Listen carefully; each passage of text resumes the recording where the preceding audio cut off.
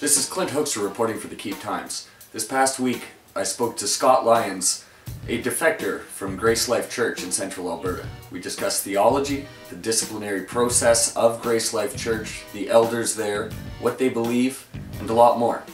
Here it is. I guess my first question would be how would you describe how you were associated with Grace Life Church? I was a member of the church. And what what role did you play in their church? Um, I was just an attendee. And how would you summarize your disagreement with them? Um, it's just uh, it was a disagreement over uh, theology. How how would you describe that difference? Um, well, Calvinism and Lordship Salvation are false gospels. They're heresies because um, they do not line up with uh, Scripture. What aspect of Calvinism and Lordship Gospels do you think is straying from Scripture? The tulip in uh, Calvinism, that's uh, total depravity, unconditional election, limited atonement, uh, irresistible grace, and perseverance of the saints. You won't find any of those doctrines in Scripture. And where do you think Coates is is getting these from? Well, he went to school at uh, Master Seminary in California, which is John MacArthur's uh, school. Um, so I assumed that he would have gotten it from there or before he went there. How how do you feel about uh, MacArthur himself? Uh, he's a heretic, a false teacher that must be marked and avoided.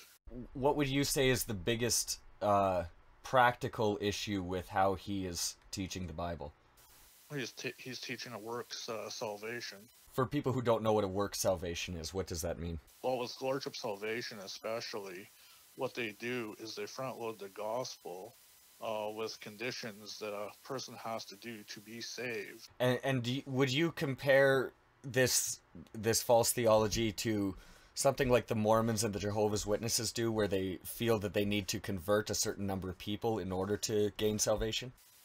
I don't know if it's converting a certain number of people, but um, they really uh, put an onus on what you have to do when Jesus Christ was the one who did all the work.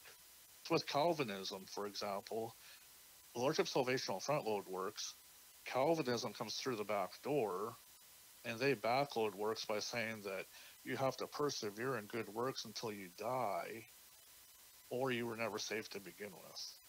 Okay, so it's a, it's almost taking the Catholic suffering idea further and saying that the suffering spans one's entire life in order to gain entrance to paradise.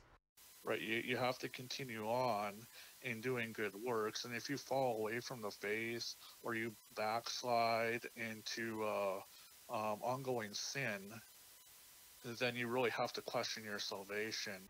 And whether or not a member is backsliding is based on the subjective decision of MacArthur or Coates.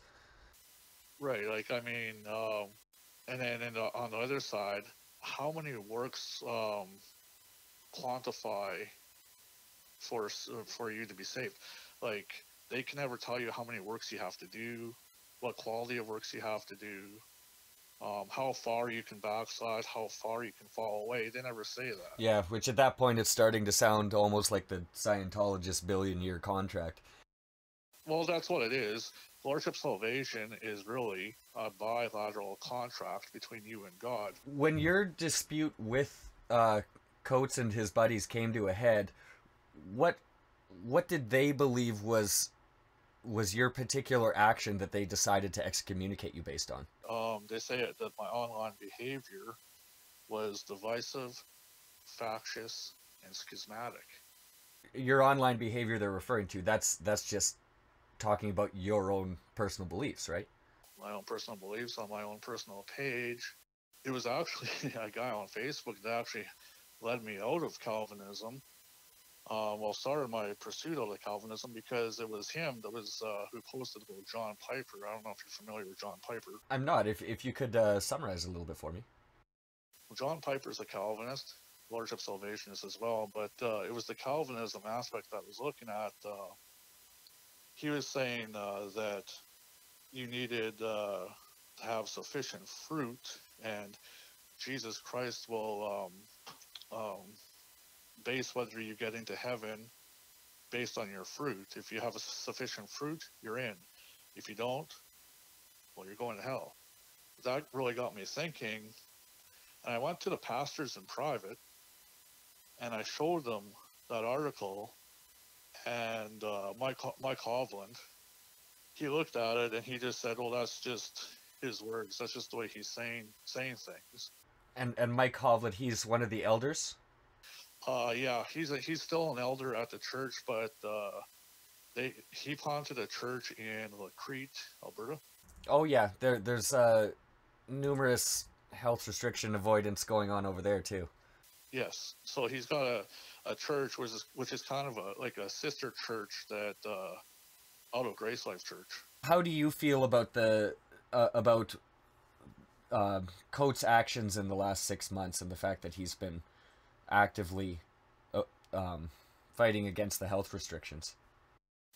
I, I, personally think there's an agenda there. Um, he wants the attention. And do, do you think that it has anything to do with the amount of money that he's managed to raise in the last six months online?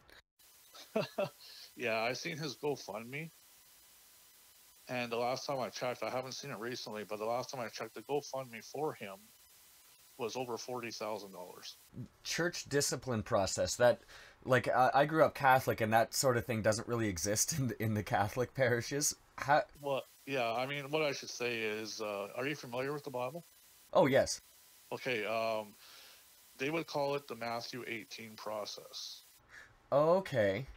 Whereas, you go to your brother in private, and you reveal the sin to him, right? Oh, I see. And then, and then he doesn't repent. Yes. So you bring two or three others. He doesn't repent. Then you go to the elders.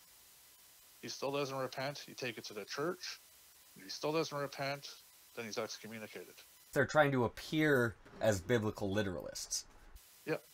How do you feel that punishment process was used while you were part of the church? the church discipline process. Are you talking about the discipline process? Correct. Yeah. Yeah, yeah, no, it wasn't used correctly in my opinion because what they initially came after me for was me not working. not working for the church? No, not working. I, I, I have epilepsy. Oh, so that's they were coming after you about something that you literally have no physical control over. Right. I was working with James Coates on trying to find employment we had a process in place. He wanted me to go see a, a neurologist, and I did. And after I seen a neurologist, all of a sudden, I have these two gentlemen from the church, these two members from the church approach me about not working. Then it seemed to shift when all of a sudden I went to the elders with this John Piper stuff. When I was in that private meeting with them at the church, they're saying it was about the, the work situation. I'm like, no, no, no, no, no. I said, this is about the whole John Piper stuff. So their assistance towards you ended the moment that they figured you had any sort of theological difference with them. Right. They didn't. They didn't like the fact that I was coming against Calvinism, and that's they. They told me they're like, you know, shut your Facebook down, get off of social media, stop posting.